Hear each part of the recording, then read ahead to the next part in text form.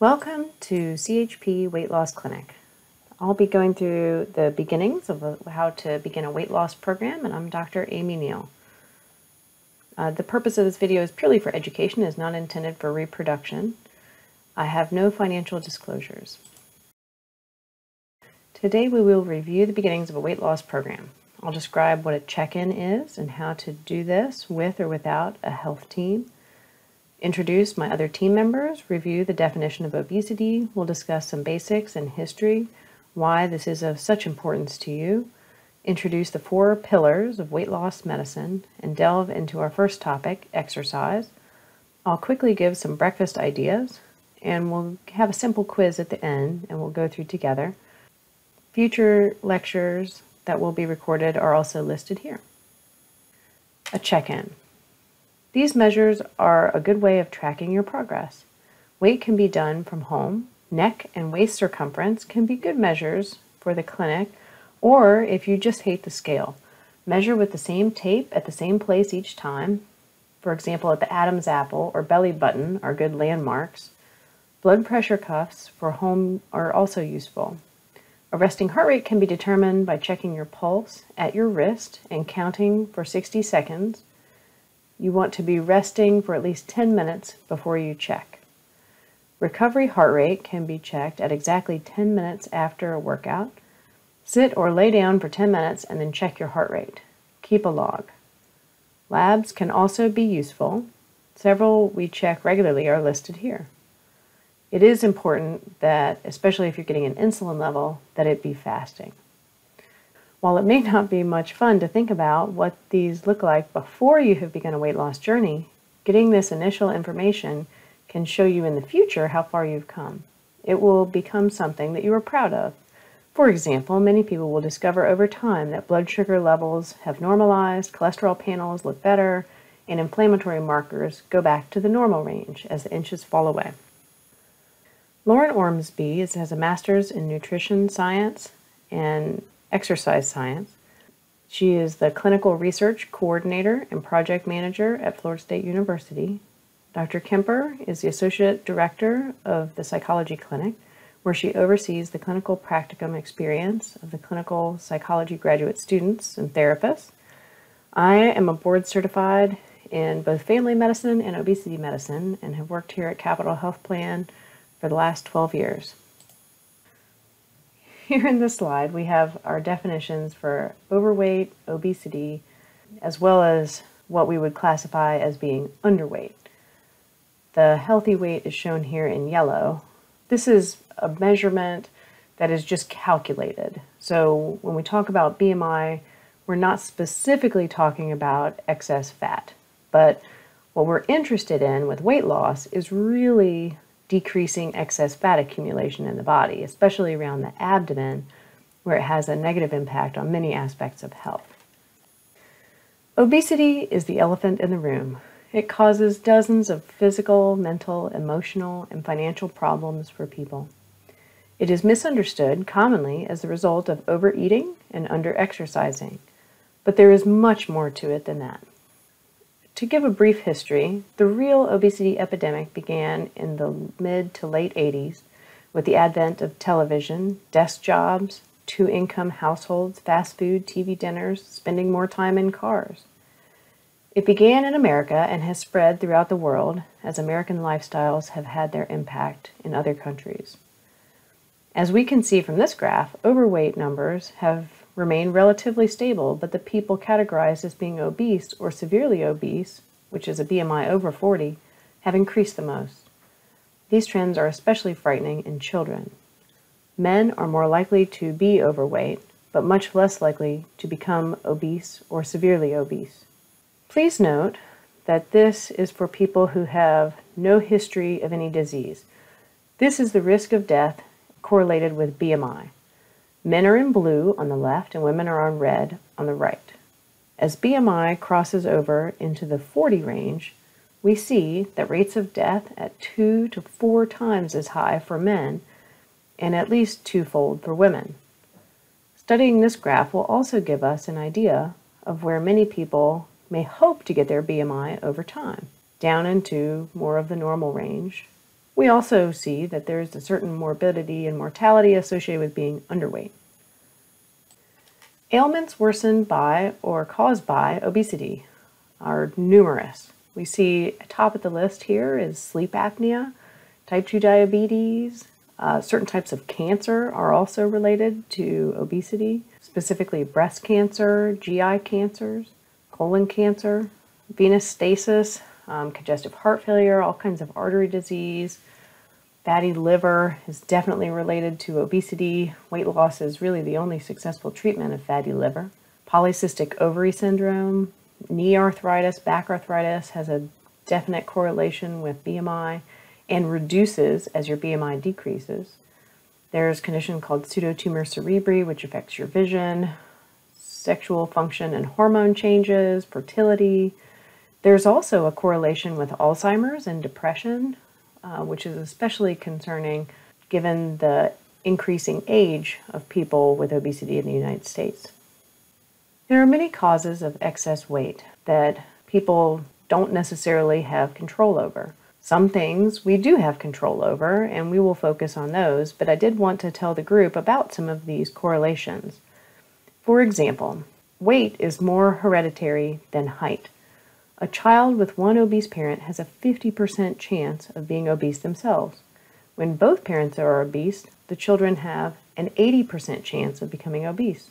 A 2.8 fold risk of obesity is seen if the baby was large for gestational age or born to a mom with gestational diabetes, 22% reduction in lifetime chance of becoming overweight with breastfeeding. We also see a 1.5 fold increase if experiencing early childhood trauma. Children 1 to 6 who have one serving of fruit juice a day have an increased risk of obesity. Screen time, more than two hours a day, is associated with a 67% increase in risk of obesity, and removing it improves rates. Eating ultra processed food can be a cause. An Australian study shows 61% chance of developing diabetes if eaten regularly. The British Medical Journal and Gut Magazine did an analysis of more than 333,000 children in the military system and found that antibiotics consumed in the first two years of life were associated with a 26% heightened increase of obesity by the age of three. Certain other medications uh, can cause obesity, which we'll go through in another lecture. Eating disorders often play a role. Depending on the demographic, wealth and poverty can also be protective or risk factors. Perceived stress can also play a role. I won't get too much into this slide, but I did want to mention that the cost of obesity for the American healthcare system is astronomical. Um, we're talking trillions of dollars, as you can see here, at least billions, um, even if this is an overestimation. If we were to just get people back to a normal BMI, this would be the estimated savings, according to at least one calculation. The treatment of obesity. This is a big money industry in America. Healthcare, we spend 190 billion or nearly 21% of the annual medical spending in the US. Childhood obesity alone is responsible for $14 billion in direct costs. The total US weight loss market grew an estimated 4% in 2018 to 72 billion the total market is forecasted to grow 2.6% annually through 2023. What I also wanted to go through um, is the America's Biggest Loser data at six years. Um, this is con- a concerning finding. Is I think we've all heard about the America's Biggest Losers. It's the competition where people start out overweight and then they do diet and exercise and then they're presented at the end of their challenge. And what they looked at is how are these people doing at six years? And what shocked the researchers is what happened next. As the years went by and the numbers on the scale climbed, the contestants' metabolism did not recover. It was as if their bodies were intensifying the efforts to pull the contestants back to their original weight. Um, and this is the yo yo effect that we see in America. Uh, we can see that some people did succeed and they continued to lose weight. Many main, maintained it, but a lot of the contestants gained their weight back. Um, and we'll talk about what happened there in a few minutes. All right, so what works? You know, we, we know the causes a little bit about it, we know the history here. What really makes a difference, what evidence has shown, is that people who lost 10% or more of their body weight and kept it off at 5 to 10 years, uh, a lot of it was activity, diet restraint or food logging, frequent self weighing or doing measurements, and meal timing, cognitive behavioral therapy, certainly addressing any uh, eating disorders that are out there, certain motivational interviewing techniques, family and group support makes a big difference. I wrote down NEAT exercise here, which means non exercise activity thermogenesis. So, something you're doing that's not exercise that also just gets you more activity and steps in a day. Weight training makes a difference, yoga, reducing screen time because if you're not doing screen time, you're probably doing something else. Certain medications can make a big difference. Treating sleep apnea can also be very useful. Maybe certain vitamins, maybe not, depending. Um, and certainly surgeries have proven to be very helpful. These are the four pillars of obesity treatment nutrition, physical activity, behavior, and medication. We will get into each of them in turn, Today we will focus on physical activity. Physical activity. So, what works the best? Walking is king because we can do it anywhere, anytime, any place. Doesn't have to be a large walk, long walk. Doesn't have to necessarily be a certain speed, but just any kind of walking.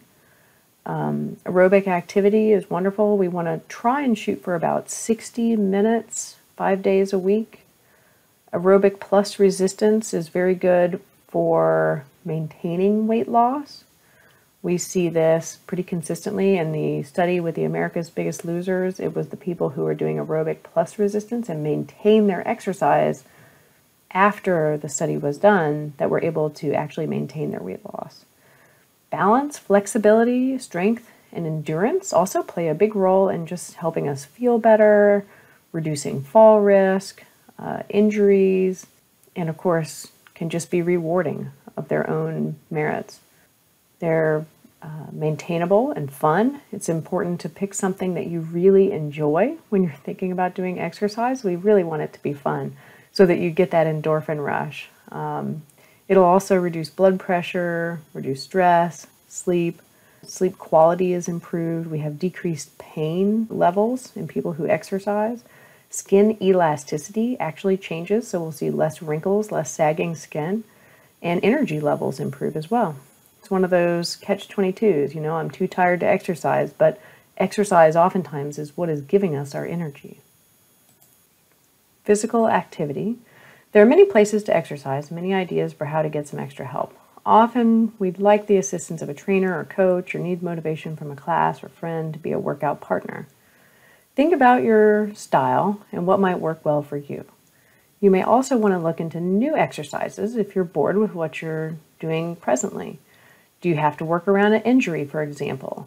YouTube is a great resource for Tai Chi videos, and Amazon Prime has numerous free yoga videos that are great for beginners or experts. There are also other workout videos for free, like high intensity interval training. Fitness trackers can make logging exercise and monitoring a lot easier. You may already have some of this technology built into a device you have. Your watch or phone are common ways to track. Setting them up can be tricky, but once they're set up, they make life a lot easier. If you want to manage something, you have to measure it.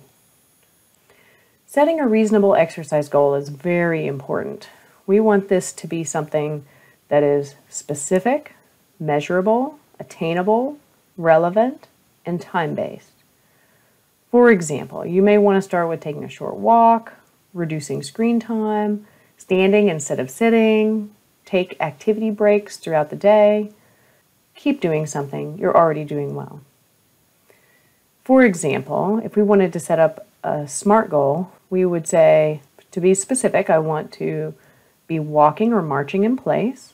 To make it measurable, I'll say 10 minutes, four days a week, or create a place to track it. And then I want to make it attainable. So I'll make it easy to fit into my schedule, even on a busy day. That 10 minutes is definitely attainable.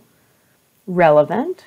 So it should be something that would make a difference and it should be time based, only one week at a time. Spell out when you'll check in and what you did, and you may even want to check your status midweek.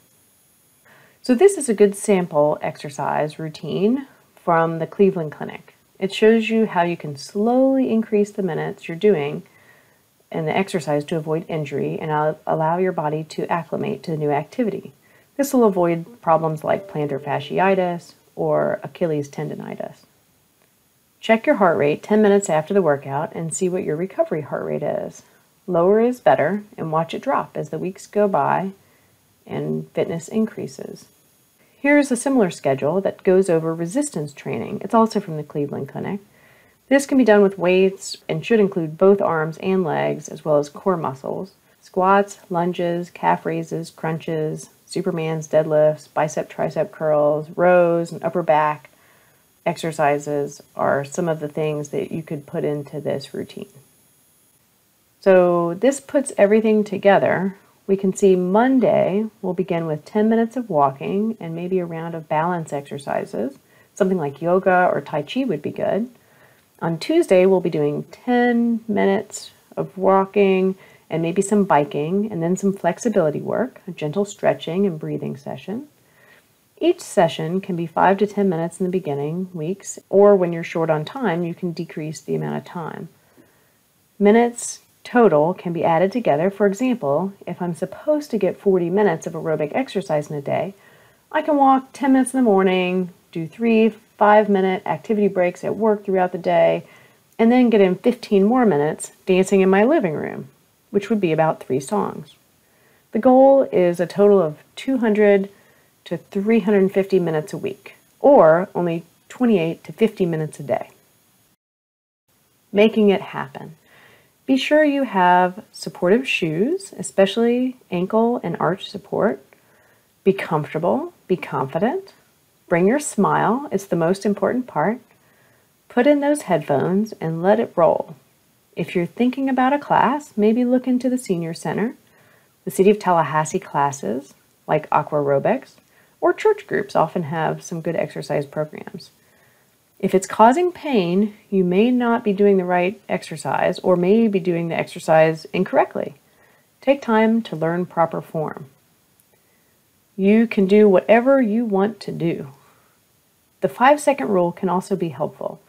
When you're struggling with internal negative talk, just count down from five to one. When you get to one, you have to move in the direction your true inner voice is telling you to go toward positive change. And also maybe away from the vending machine. Breakfast ideas. So here's some ideas I got from MyFitnessPal blog. Some breakfast burritos that you could make a day or two in advance might double as a good snack or another meal. The mushroom cheddar omelets with some fresh greens is another breakfast that brings in protein, fat, and healthy, fiber rich, vitamin packed carbs Overnight, protein apple cinnamon oats are another common, healthy, but very fast and easy breakfast idea. Again, these can be found on the MyFitnessPal blog, which is on the phone app for MyFitnessPal, which is free, and bowlofdeliciousideas.com is another great resource. This is a list of my references. Quiz. So, what are the four pillars of obesity treatment? Does anybody remember? Today we went over exercise. You can certainly look back, but the others are nutrition, behavior, and medicine. We'll go over these in future talks. Which is a habit people who maintain weight loss do? Do they exercise regularly? Do they ignore the scale? Do they stick with one specific diet only? Do they eat breakfast in bed? they exercise regularly. If you guessed A, you are correct. What is the king of exercise for weight loss? We talked about it, and it is walking or aerobic exercise. Walking is good for all comers. Which exercise goal will you set this week?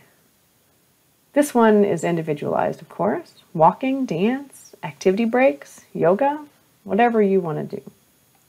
That's it for this lecture. Please check in soon for the remaining lectures. I'm wishing you the best of success and a healthy future. With the right tools and information, you can absolutely succeed and attain a healthier weight. Remember, you can do anything that you want to do.